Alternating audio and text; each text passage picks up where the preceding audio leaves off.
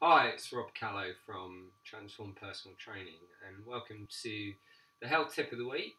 I've got three tips for you this week, and the first one relates to yogurt or natural yogurt.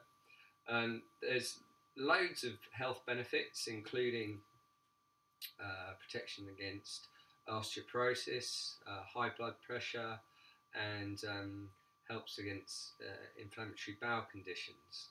So, what I mean by natural yogurt, I mean yogurt with live cultures in it. So, a couple of um, a, a, way to find out uh, a version that would be good for you is to type into Google natural live yogurts United Kingdom, and that will bring up a list of 10 or so really healthy yogurts that have natural live uh, cultures in them uh, rather than um, the typical yogurts that have uh, basically a lot of sugar and um, not that much uh, uh, good health um, properties. So that's uh, tip one. tip two is um, de-stress with some meditation.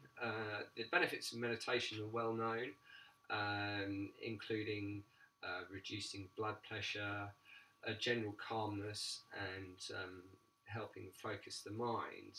Uh, there's several ways you can do it. I personally use uh, an app called Headspace uh, that guides you through uh, different packs and different meditations that helps you uh, concentrate on um, the, the meditation, but also explains a little bit about the um, theory behind each particular pack, which gives it, for me, a little bit more relevance and helps me understand the process behind which um, that you're trying to do.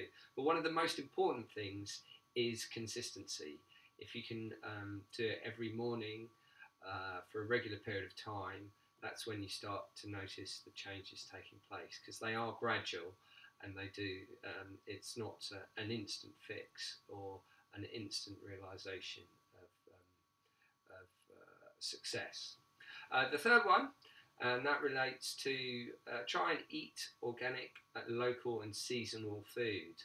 Um, uh, the reason for that being is that it's uh, if it's local, um, it's and it's seasonal. It hasn't travelled for a long period and is more likely to um, be contain more nutrients and not um, um, have been subject to being picked early and um, or grown uh, in a um, unhealthy way. So those are three tips for this week. Uh, thank you for watching.